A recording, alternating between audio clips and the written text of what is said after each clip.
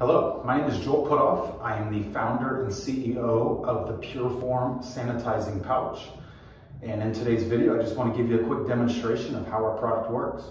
Uh, just like any other strap pack, you clip it on, adjust it to fit your size.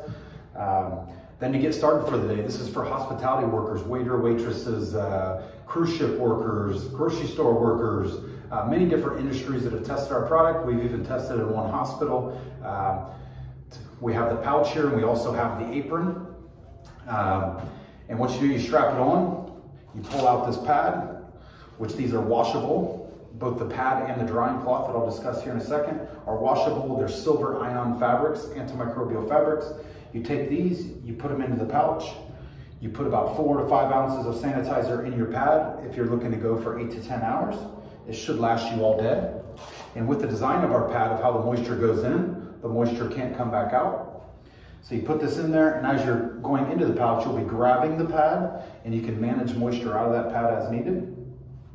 And then all you do is clip this shut, our new Lego-like snaps with our new design here.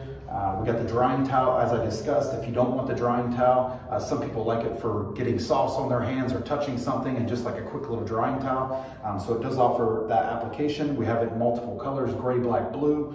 Um, you can also just use it as a secondary pocket. We have another antimicrobial pocket back here to keep your phone or other work items in. Um, within the antimicrobial pocket there. And uh, like I said, the apron, we have the apron over here that you can attach, you can pull off, um, use as needed. We have a double-sided apron if you need two sides of the apron for extra pockets for your pocketbook and all the other things that a waiter or waitress might use throughout the day. Um, but I appreciate you taking the time to uh, learn a little bit about our product. And uh, before we go, I think we got to admire these zebras uh, of this random conference room that I'm in today. Um, I'm here in Austin, Texas, and uh, found uh, found an interesting conference room for you guys today. But great to meet you. My name is Joel Puthoff, and look forward to uh, talking to you soon. Thank you.